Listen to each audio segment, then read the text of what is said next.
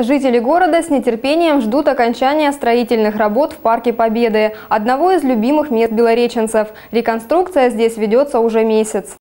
Новый тротуар по улице Красная – это лишь малая часть тех преобразований, которые запланированы в Парке Победы в рамках реконструкции. Первым делом строители приводят в порядок пешеходные зоны. Тротуар, ведущий вдоль парка к управлению социальной защиты, обещают проложить до конца недели. Следующие на очереди – пешеходные дорожки по улицам Таманской армии и 40 лет октября. Впереди масштабные работы на аллее Героев и Центральной площади. Территорию здесь выложат разноцветной плиткой. Пока же в парке монтируют кабели под новое освещение. Часть сети электроснабжения, которая не соответствует соответствует современным требованиям, будет заменена. Параллельно идет обустройство беговой дорожки по периметру парка. 400 квадратных метров дорожного полотна заасфальтировано. Примерно столько же еще предстоит выровнять и покрыть асфальтом. Далее здесь будут укладывать специальное спортивное покрытие, износостойкое и травмобезопасное. Подрядная организация работает и в будни, и в выходные дни, чтобы успеть сделать все запланированное до ноября текущего года. Горожане с нетерпением ждут окончания реконструкции Парка Победы. Жителям города приходится терпеть некоторые неудобства, когда все ломается, когда все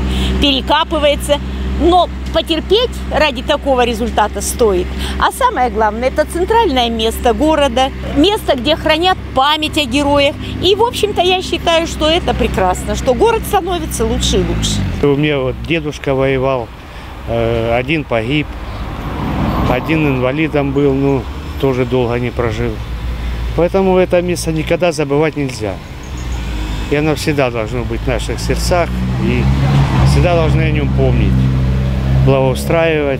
Напомним, что работы ведутся в рамках федеральной программы формирования комфортной городской среды. Место отдыха, которое нуждается в благоустройстве в первую очередь, белореченцы выбирали сами путем народного голосования. Людмила Ваченко, Сергей Чернецов. События и люди.